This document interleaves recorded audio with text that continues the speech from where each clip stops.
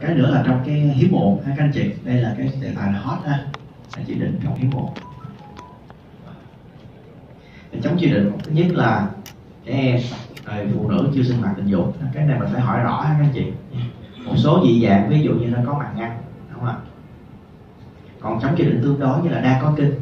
Một số trường hợp các anh chị sẽ thấy là trong kinh, mình cũng phải coi ngã âm đạo mới đánh giá được thế này chứ không có được mình mình đừng có sợ dơ, ha tôi thấy một số nơi là bảo là ra huyết là không không coi.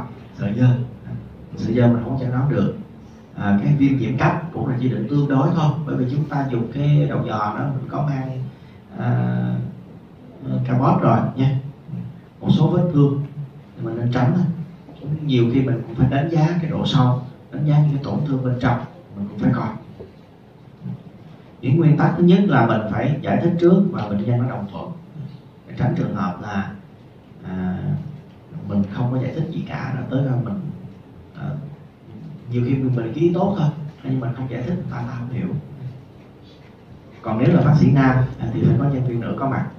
Chống chỉ định là bệnh nhân còn màn trinh à, không đồng ý không đồng ý thì chúng ta nên rất là, là, là cảnh giác ở chỗ này. Một điều lưu ý là khi mà khó khăn trong việc đưa đầu dò vào âm đạo thì cần phải ngưng ngay à, cái này cũng là cái kinh nghiệm xương máu của tôi các anh chị. Cái ờ, cái ờ, cái cái người đó họ cũng 50 tuổi rồi đi đi khám phụ khoa. Đi khám phụ khoa thì là các anh các chị khám thì khám không được. Cho nên là đưa qua sơn đầu dò đạo thì mình đưa đầu dò vào các anh chị. Đưa đầu dò vào thì mình nó đau quá nó đau quá. Thì thôi mình rút luôn ha, luôn. Thì à, à, mình mới hỏi rằng là bây giờ không có biểu hiện gì hết nhưng mà bệnh nhân nó cứ than đau. Mình hỏi rằng là có gia đình rồi có quan hệ 20 năm rồi. Ừ. nhưng mà vẫn đau. Cái mình thử mình tránh nghe người ta mình đặt đầu dòng xem lại. Giữa chừng nó cũng đau quá chịu nổi thôi mình cũng rút ra. Nha. Rút lui. Rút lui thì qua khám là các anh chị biết sao còn bằng trên các anh chị. Nha. Còn bằng trên à, lấy chồng 20 năm nhưng vẫn còn bằng trên tại cái cô nó mập quá các anh chị. Khổ tới trăm trăm mấy ký á. Rồi ông xã cũng cỡ đó luôn. Rồi không biết là hai người quan hệ sao biết. 30 năm vẫn còn bằng trên thực tế các anh chị rồi để chuẩn bị bệnh nhân thì thứ nhất là nên đi tiểu sạch ha. Mình thay váy tốt nhất mình nên thay váy à. Nhiều uh, có nhiều khách hàng của mình đó họ mặc váy sẵn rồi thì uh, họ nói là em có váy rồi nha.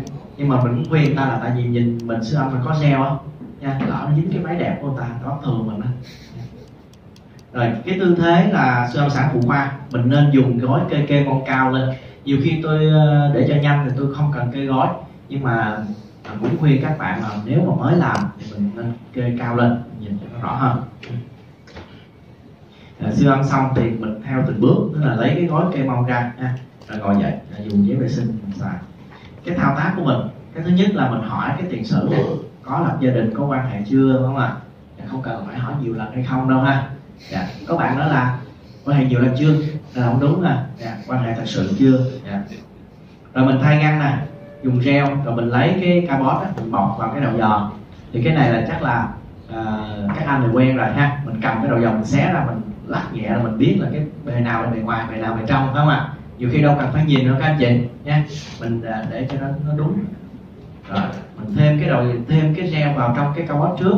Rồi mình mình trồng vào thì như vậy là nó sẽ sẽ sẽ uh, có cái độ dẫn âm tốt hơn. Cái thao tác nhẹ nhàng thì cái ở chỗ này thì là chúng ta nên giải thích trước chúng ta nên giải thích trước. Mình nói rằng là chị đừng có gồng ha.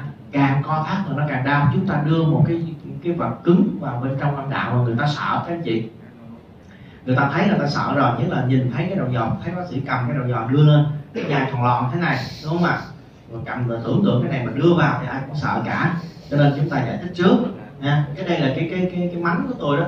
Tức là ờ, các bạn ở bên ờ, những bệnh viện phụ sản đó, không nói không rằng đúng không nào?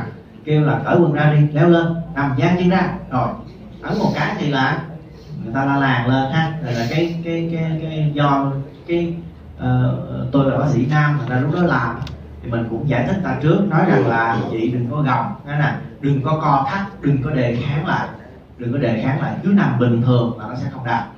Người ta càng sợ ta càng co thắt thì nó càng đau. Mình giải thích rõ ở chỗ đó thì là mình làm siêu âm là mình sẽ thấy là khách hàng nó sẽ thấy nó dễ chịu nha. Nó, nó thuận tiện. thì cái đó cũng giúp ích cho mình. Các anh chị nó co thắt quá một số trường hợp là mình làm không được luôn á. Nhiều khi nó quá sợ. Rồi về càng ờ, cái này thì là mình lưu ý là đây là mình đưa vào đạo. À, một số người nó có bị viêm nhiễm những cái nguyên nhân. Nó nó nhiều khi nó rất là đáng sợ không ạ? À? ra là mình phải lưu ý là mình giữ vệ sinh giữ hình cho mình.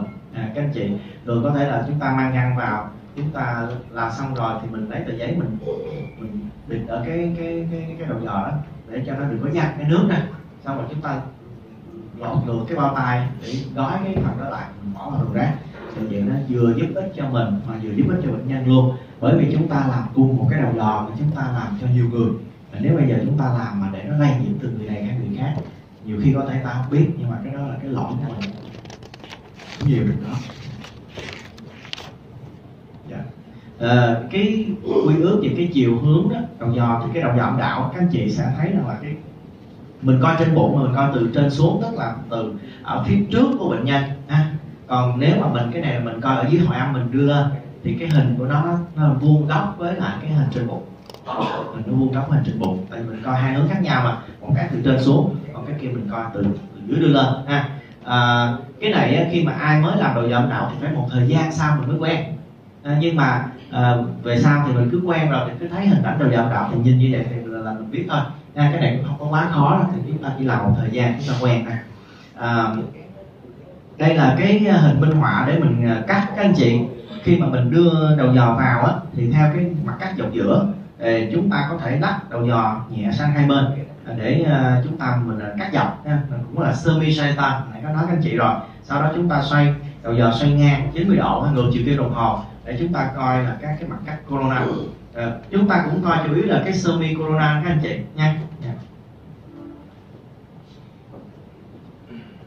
à, về cái uh, cách di chuyển đầu dò đầu tiên là cái cái định hướng cái tư thế đó. Thì uh, khi mà mình insert cái đầu dò vào á thì mình ráng mình mình mình nhìn ở trên màn hình. Nha. Mình đừng có nhìn cái tay của mình ha. Mình nhìn trên màn hình để đưa đầu dò vào thì đầu tiên mình thấy cái hướng của cái cổ tử cung nó nằm đâu. Thì mình hướng theo đó. À, nếu mà nó ngã trước thì nên gì? Nó sẽ chết lên các anh chị ha. Còn ngã sau thì nó chết xuống. Đôi khi các anh chị thấy là cái tử cung nó lệch phải lệch trái. Thì như vậy chúng ta dựa vào cái hướng của cổ tử cung là mình lần tới cái kênh cổ tử cung sau đó theo cái cái cái echo của niêm mạc tử cung để mình đưa ờ, tới cái phần đáy tử cung. Mình coi hết phần đáy tử cung luôn nha. Mình cắt trọn cái kênh cổ tử cung rồi tới nội mạc tử cung rồi tới đáy tử cung nha về di chuyển đầu dò đó thì mình để khảo sát đó, thì mình phải di chuyển theo mặt cắt dọc ha từ hết bên phải sang bên trái ví dụ vậy. Có thể mình coi qua coi lại mấy lần đúng không nào? Sau đó mình xoay ngang rồi mình à, hướng từ dưới lên trên à, từ trên xuống dưới để mình cắt cho hết cái đầu dò à, thì à, cái phần lưu ý đây là để mình dễ làm cái cái à, cái cái, cái động tác cái sơ đạo thế này này các anh chị bây giờ chúng ta cầm cái đầu dò ha khi mà mình insert vào bên trong cái cái cái cái cái bên phần cơ quan sinh dục để mình xem. Thì để mà xem cho rõ đó anh chị thì chúng ta thấy rằng là cái sự di chuyển của đầu dò nó hạn chế đúng không nào? Chúng ta không thể nào chúng ta cử động một cách thoải mái giống như chúng ta xem ở trên bụng được. À, cho nên là chúng ta phải có cách sử cái, cái lưu ý chúng ta giống như các bạn bên sản khoa mấy bạn hay xài phọt xếp không ạ? À? mấy bạn xài forceps á thì như thế này. Thì để mà dễ cử động mà mà mà bệnh nhân nó không có khó chịu, các anh chị, mình tưởng tượng đây là cái phần à, của mình, ha, cái âm hậu thì chúng ta đưa đầu đầu vào đó thì để mà mình cử động, mà mình xem được hết cái ờ, bên trong tiểu khung á, chúng ta không có thể nào kéo tay mình thẳng thẻ được, ha, không nào rộng rãi được. Thì chúng ta lúc đó, để mà đỡ khó chịu cho cho cho bệnh nhân, mình dùng cái, mình tưởng tượng cái ở cái phần của mình, người ta là cái điểm tựa. Là chúng ta lắc đầu dò chung quanh cái điểm tựa đó, đúng không chúng ta coi, ví dụ như coi từ phải sang trái thì mình cố định ở cái điểm mà ngay cái phần của mình.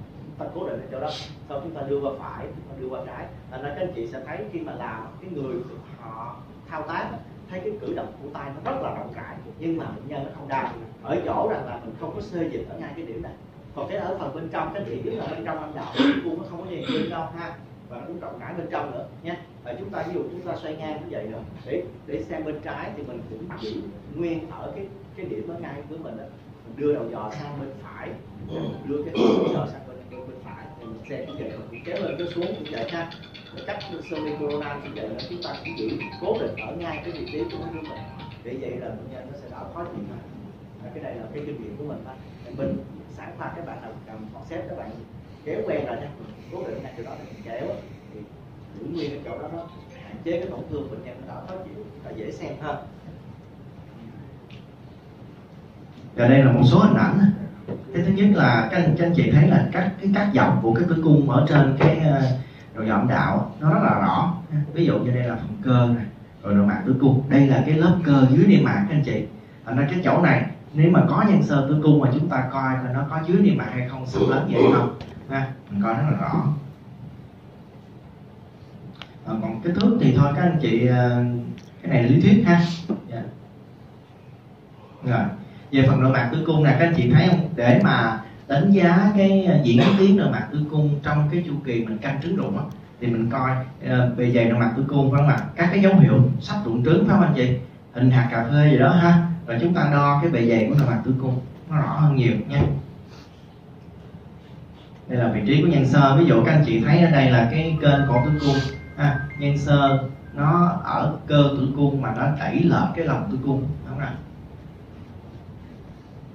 À, đây là một số hình ảnh của cái lạc động mạc tử cung. Các anh chị thấy là từ cái động mạc tử cung nó có những cái đường hầm nó xuyên qua lớp cơ nó tạo những cái ổ xuất huyết bên trong nha.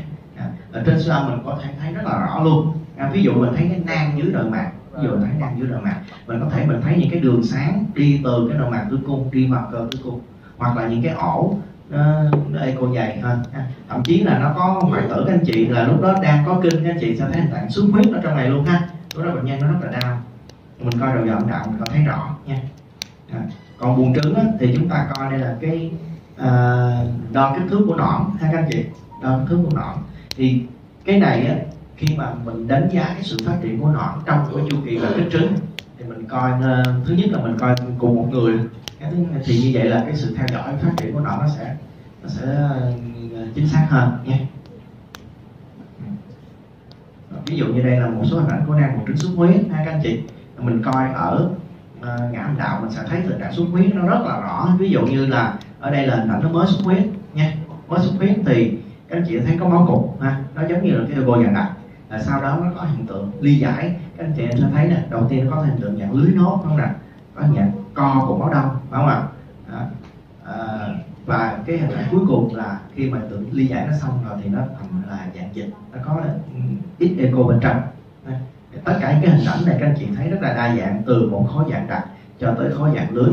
À, thì là ở đây là dạng đặc và nang cũng là, là hình ảnh của cái xuất huyết nang một trứng xuất huyết à, cũng như là cái đánh giá cái u buồng trứng làm tính hay ác tính thì chúng ta coi cái ngã âm đạo thì nó cũng thấy rõ hơn nhiều. Bây giờ à, cái phân độ u ác thì trên cái iota thì càng dễ nữa ha các anh chị ha. Lúc đó chúng ta coi là thứ nhất là à, à, nang đơn thùy không ạ? À? nang đa thùy hay là à, nang đơn thùy đặc nang đa thùy đặc rồi dựa trên các cái dấu hiệu của cái theo cái bảng ta các anh chị đánh vào thì nó ra được cái tỷ số nguy cơ. Thì mình đánh giá bằng cái à, ngã tạo mình thấy rõ hơn nhiều ví dụ như là chúng ta đánh giá cái vách đúng không ạ? Để coi cái cái vách nó dày hay là nó mỏng. À, coi có tăng sinh mạch máu hay không là chúng ta coi những âm đạo tốt hơn. Dạ. Một số dấu hiệu ung thư buồng trứng các anh chị. Là chúng ta coi được trên siêu âm âm đạo tốt hơn. Ví dụ như là u lớn nè thành dày nè vách vách nó dày và có mạch máu ở trong vách luôn nha. Và có hiện tượng xâm lớn cũng như là nó dịch xung quanh. Thì cái đó chúng ta coi ngã âm đạo nó rõ hơn rất là rõ à, còn đánh giá giai đoạn ung thư buồng trứng thì cái này chỉ liệt kê các anh chị còn khi nào mình có thì à, mình cũng sẽ à, từ từ có kinh nghiệm. Chứ còn nói trong mình bữa nhiều khi gì nhầm cũng quên đó. ở đây sẵn có các thầy cũng đã xuống rồi. À, cái để à, thời gian các, các thầy hướng dẫn các anh chị thực hành thì nó hay hơn nhiều so với nói lý thuyết. Lý thuyết thì à, các anh chị về nhà đọc cũng được các anh chị kiếm trên mạng cũng có nhưng mà với cái kinh nghiệm thực tế để mấy thầy chị anh chị hay hơn nhiều. Dạ cảm ơn các anh chị.